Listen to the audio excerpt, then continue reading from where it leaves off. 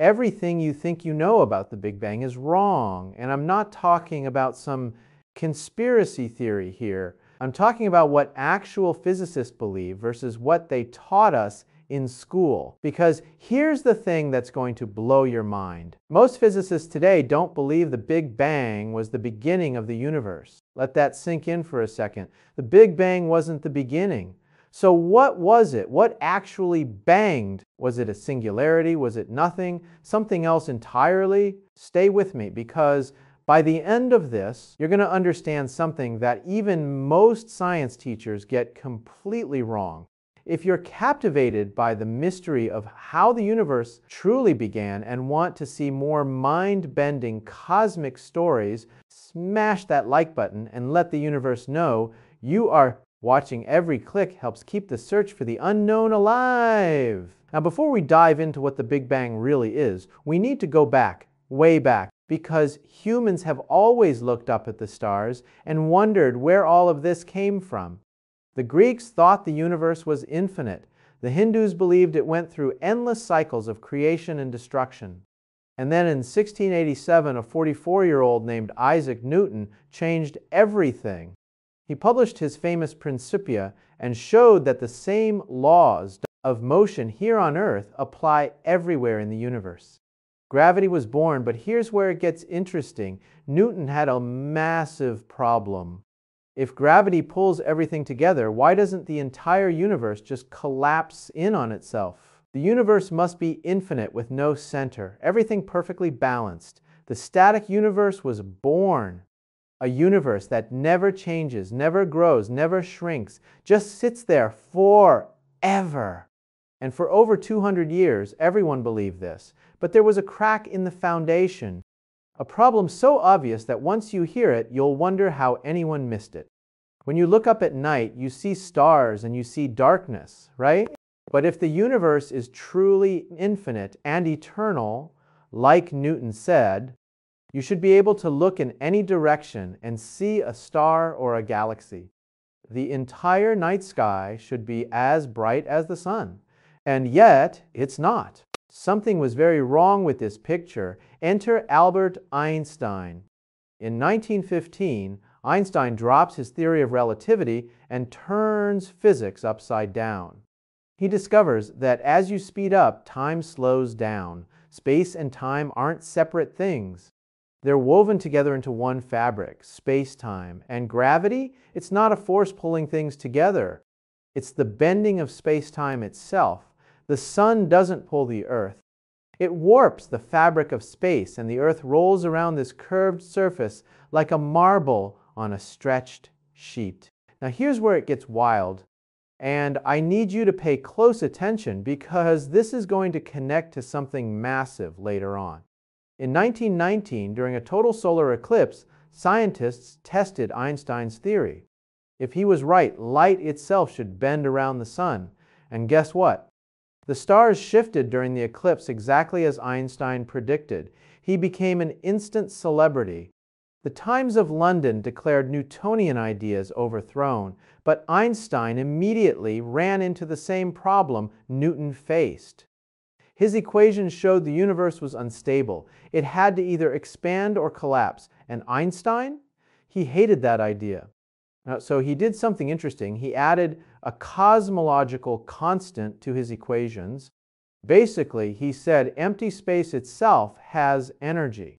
He could then tweak this value to keep the universe static and unchanging. He would later call this his biggest mistake. But hold that thought, because we're going to come back to this, and you're going to see why Einstein might have actually been right all along. While Einstein was wrestling with his equations, astronomers were discovering something that would shatter everything we thought we knew. For centuries, people had seen these fuzzy clouds in the sky. They called them nebulae. The most famous one was Andromeda. Nobody knew what they were. Were they just clouds of gas in our galaxy? Or were they something more? A brilliant woman named Henrietta Swan Leavitt figured out how to measure the distance to these objects. And when Edwin Hubble used her method to measure the distance to Andromeda, his result changed everything 900,000 light years away, far beyond our galaxy. In that single moment, the universe we knew increased in size by a million times. Those fuzzy clouds, they were entire galaxies, islands of stars, just like our Milky Way. The universe was suddenly unimaginably bigger than anyone had dreamed, but Hubble wasn't done.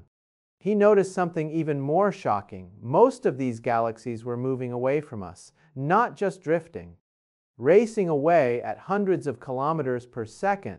And here's the kicker. The farther away they were, the faster they were moving, exactly what you would see if the universe itself was expanding. The static universe was dead. Einstein's equations had been right. The universe was dynamic, changing, growing. Now think about this for a second. If the universe is expanding right now, what happens if we rewind the clock? Everything gets closer together, denser, hotter. Keep rewinding, and you get to a point where everything in the universe, all the matter, all the energy, all of space itself, is compressed into an extremely dense state. A Catholic priest named Georges Lemaitre called it the primeval atom. He said, We're living in the smoke and ashes of a very rapid fireworks display. And because space and time are linked, this wasn't just the beginning of space. So, it was the beginning of time itself, a day without yesterday. This is probably what you learned in school.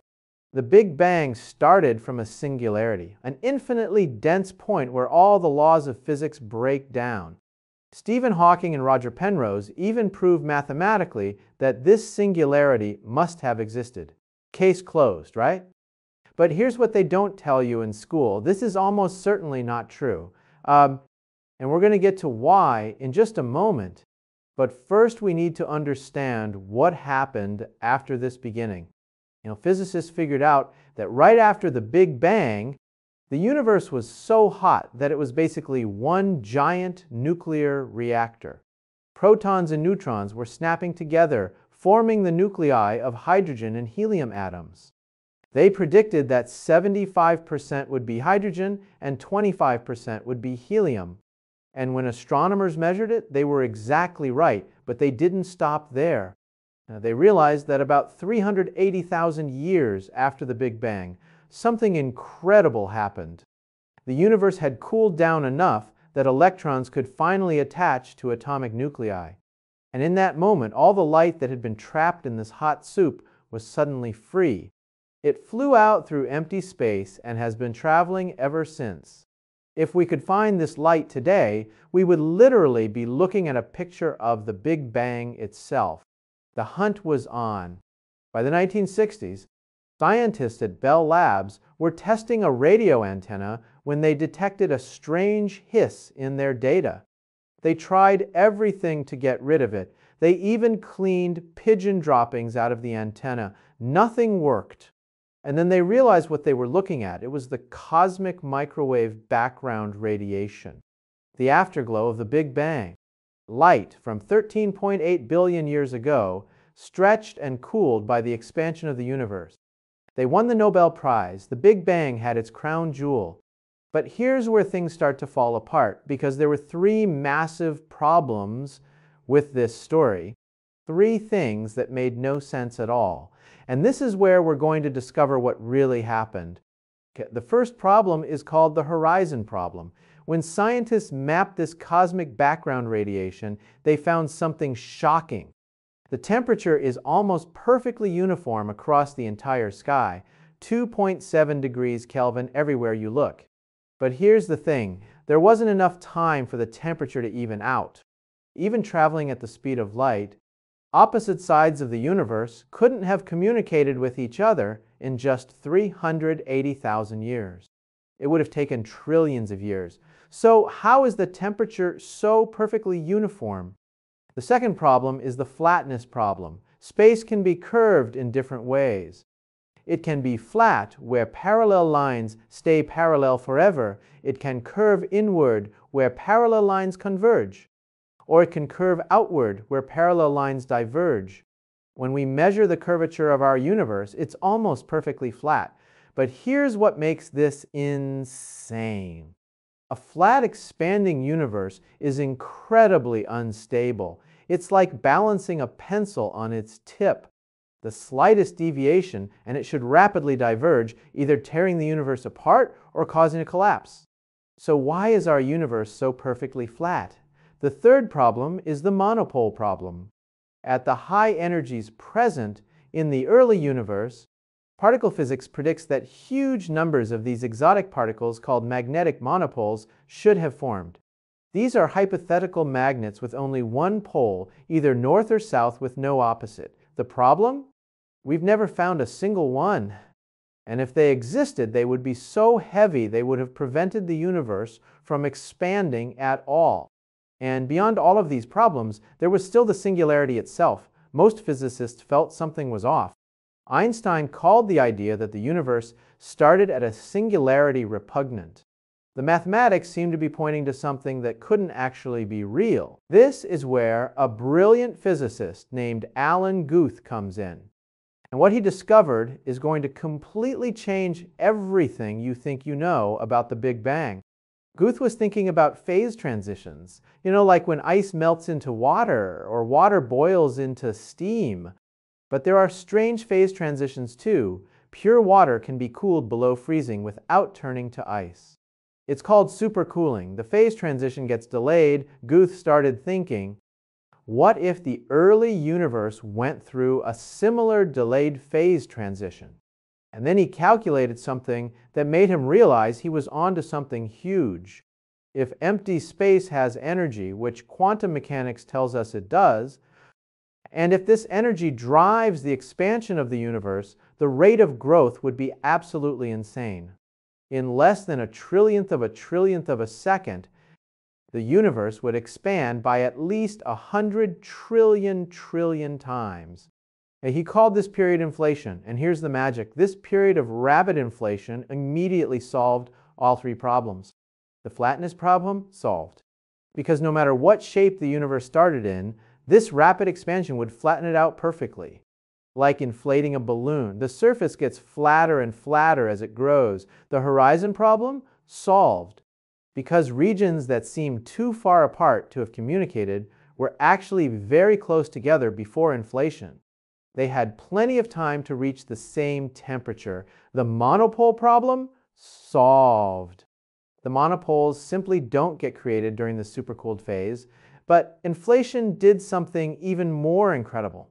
Remember those tiny variations in temperature we see in the cosmic microwave background? Those slightly hotter and cooler spots? Inflation explains where those came from. Quantum fluctuations in the inflation field get frozen into the fabric of space as it expands, and these tiny variations, they're the seeds of everything. Gravity pulls matter toward the denser regions, and over billions of years, these tiny ripples grow into galaxies, stars, planets, and us. If it weren't for these quantum fluctuations during inflation, there would be no structure in the universe at all. No galaxies, no stars, no you, no me. So now we can finally answer the question. What actually banged during the Big Bang? We, we start with empty space. No matter, no light, nothing.